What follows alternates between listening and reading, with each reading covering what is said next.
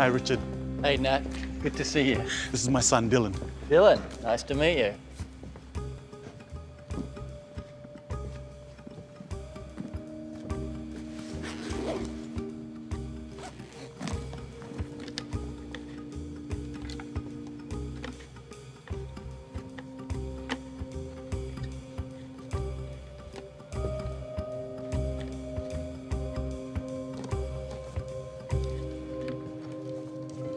I haven't rehearsed anything. Don't be modest. Just play what you've been practicing at school. Yeah, just play something that you like playing.